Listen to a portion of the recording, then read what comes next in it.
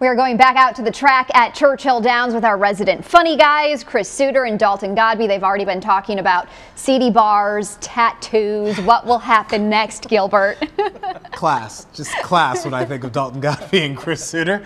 Um, but for those who don't know, I want to set the stage with a little Once Upon a Time. Of course he does. They do yeah. this little uh, race with toy horses, and last year it looked like my horse was going to win until there was some questionable, some say illegal interference. track interference by one Chris Suter who put something in the way of my horse and let Hayden's cross the finish line. No, first. not Chris. So now we have a rematch.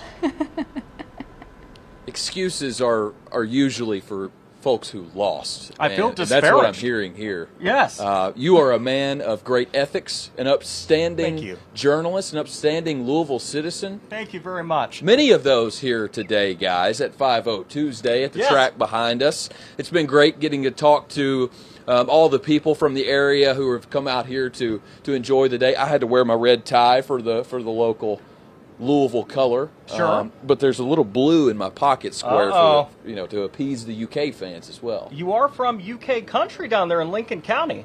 I am. I am. I But, guess we'll uh, never know which one you root for. Do you want to say? We're not going to reveal that. Okay, we won't. smart man. We won't be revealing that. Very Yeah, smart we'll- man. We'll, leave that up. Now we'll get to the race Yes. that Gilbert was talking about. Uh-huh. We will, but let's talk a little about what we've seen here today and some of the folks that we've talked to. That he was spreading fables about, you mean, the race, okay. Exactly. Uh, you know, the thing that was kind of neat about today is that usually when you're here at the track on some of the bigger days like Oaks or Derby, you ask somebody where they're from, they're like, well, I'm from New York or I'm from somewhere overseas. Today, it was I'm from Louisville, and we talked to a lot of those folks about what they thought about 502'sday. I think that it's wonderful that they introduced the idea of having one just for us. So that gives people the opportunity that may not have one otherwise to be able to come out, enjoy the festivities, see the track, have the opportunity to experience something more across the board for everyone that may not be able to otherwise. Today is 502 day, and it's a great day to you know to interact with the with the city, Yeah, yeah. and you know we deserve this.